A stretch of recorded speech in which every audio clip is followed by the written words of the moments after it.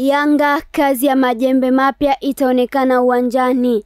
alikamwe Kamwe, ofisa habari wa Yanga, amesema kazi kubwa ya wachezaji wao wapya itaonekana uwanjani na sio maneno maneno nje ya uwanja. Tayari nyota wapya wawili ambao wamesajiliwa wameanza kuonyesha makeke yao ikiwa ni pamoja na kiungo Mudathiri na mshambuliaji Kennedy Musonda. Metacha Mnata huyu hajaanza kucheza lakini alikuwa benchi kwenye mchezo dhidi ya Ruvu Shooting, huku beki mpya Mamodou Dombia yeye hajaanza kucheza hadi sasa. Akizungumza, Ally Kamwe alisema kuwa kila mchezaji aliye ndani ya kikosi cha Yanga matarajio yake ni kufanya kazi itakayokuwa na matokeo mazuri.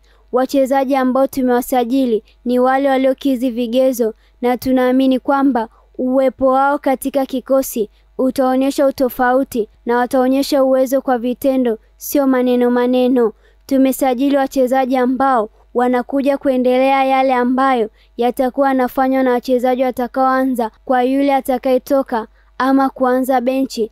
Maana yake hakutakuwa na tofauti, mashabiki watashuhudia mengi, alisema Kamwe.